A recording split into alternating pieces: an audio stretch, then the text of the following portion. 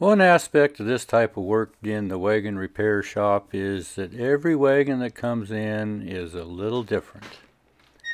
We get to go through this wagon and find out what's wrong, what's broken, what's wore out, and then we get to figure out what needs to be done to get it fixed.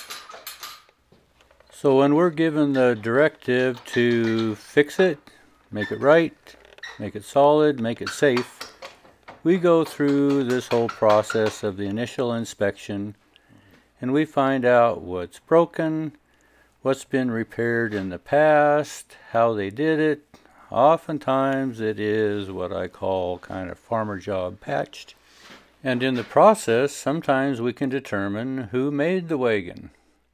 This one seems to be a Studebaker, judging from the half-round spoke bands and the single carving in the hub.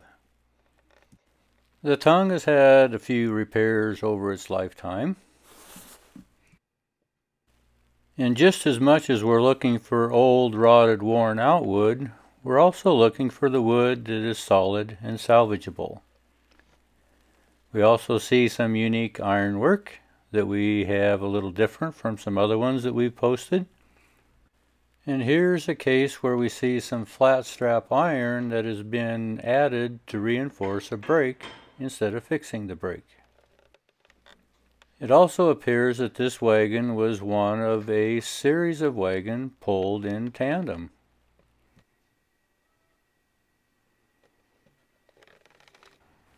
So after this initial inspection becomes a process of dismantling the wagon so that we can begin the repair process.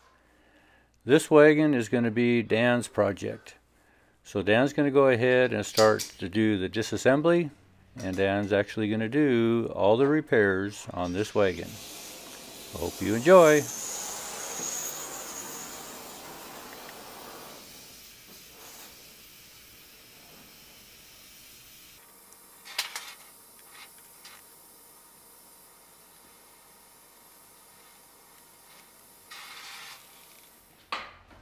Over the years, many people have asked me where I learned to do what I do.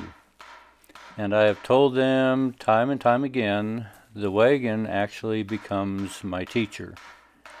So this process that Dan is going to go through is actually this process of learning how the wagons were built, how they were constructed, how the ironwork was put together, how they function, all this stuff is the, the teaching process that the wagon actually teaches us how the initial craftsman did it back in the day. And that's why I say our learning curve is never done. Each wagon is different. We're always learning something new because of the wide variety of wagons. So this learning process is just an ongoing, never-ending process.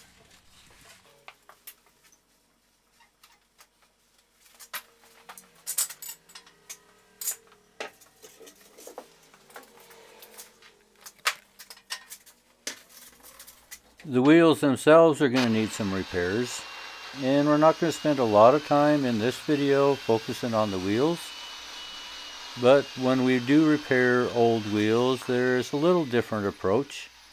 Uh, sometimes we have to replace felly sections and trying to save tenons we kind of look at it or approach it a little different. But there is one part of a Studebaker wheel that you never see until you disassemble it and that's where the spoke goes into the hub. You'll see that the shoulder to the tenon is round instead of square like all the other spokes. This is a distinct Studebaker style.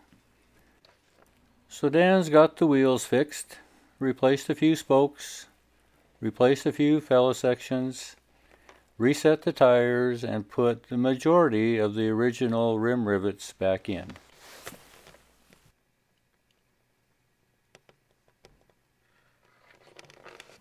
And this pile of pieces is all that's left of the running gear.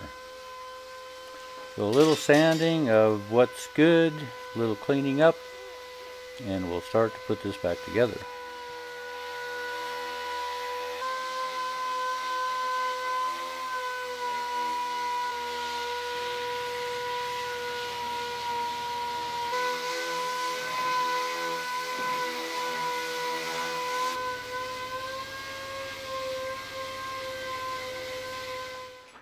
Now it's very common for these mortises in the bolsters to collect moisture and rot out. So some of these standards are usable, but Dan's going to make new bolsters for both the front and the back.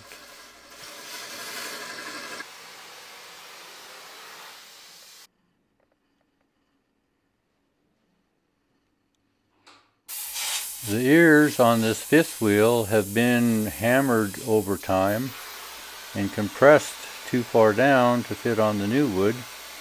So he's going to adjust them so they fit the new wood a little better.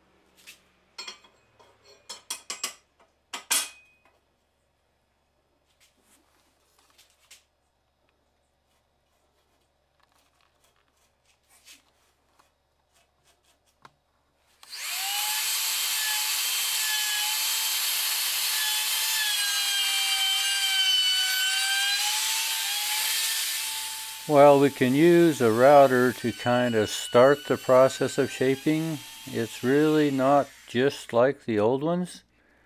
So it gets down to a little bit of handwork, looking at the original back and forth, trying to make the new look like the old.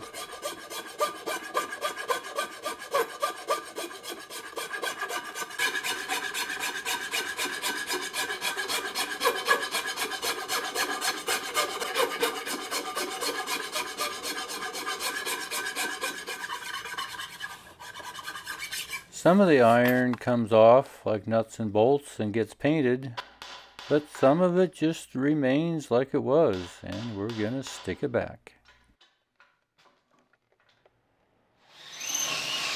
While this might seem kind of odd, but our directions were to repair and make sound, not do all the prep work for the finish work.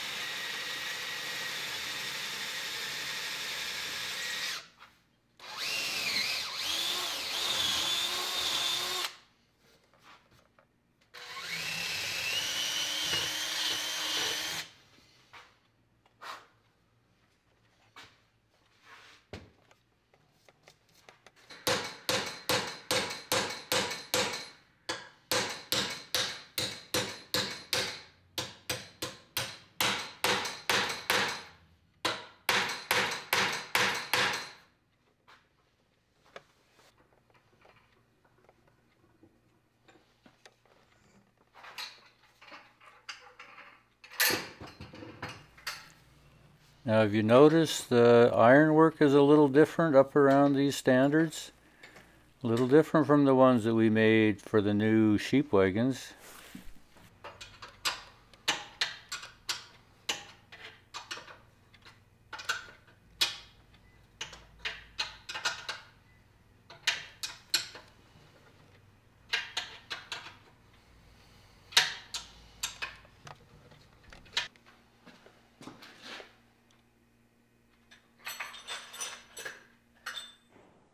Now the axle hounds and stabilizers were pretty bad, so Dan's going to replace these.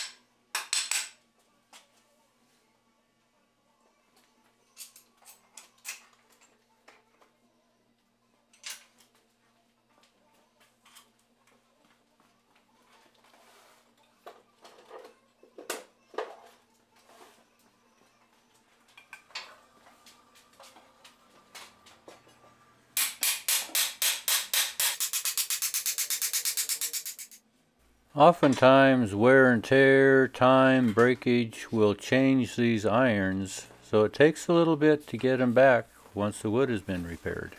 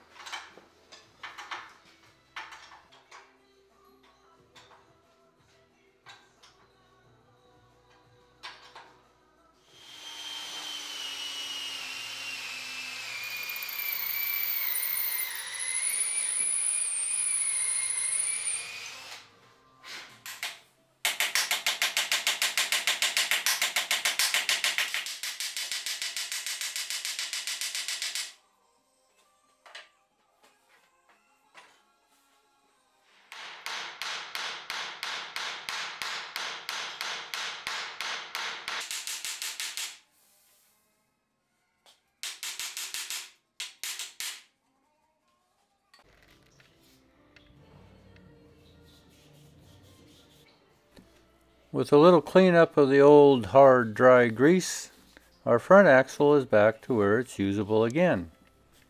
Axle hounds, stabilizers, new bolster on top.